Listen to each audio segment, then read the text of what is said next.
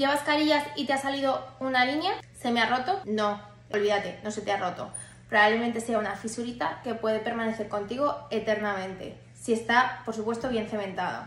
Estoy hablando de las carillas de porcelana. Hay en ocasiones que se pueden producir fisuras o se puede convertir en una fractura. En este caso tenemos ya que cambiar la zona externa de la lámina de cerámica y volver a poner otra. ¿Te puede suceder con carillas de composite? También te puede suceder y simplemente hay que reparar esa zona del composite fracturada. Si tienes una fisura en la carilla de composite y no se ha convertido en fractura, olvídate porque probablemente no te suceda nada a lo largo de los años hasta que tengas que cambiar la carilla entera simplemente porque se ha oscurecido.